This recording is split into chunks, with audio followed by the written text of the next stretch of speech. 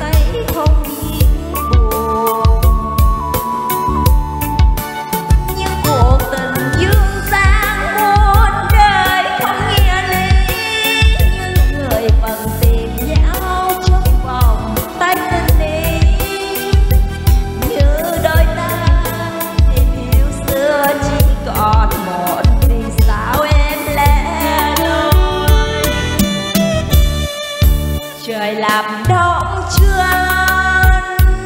cho lũ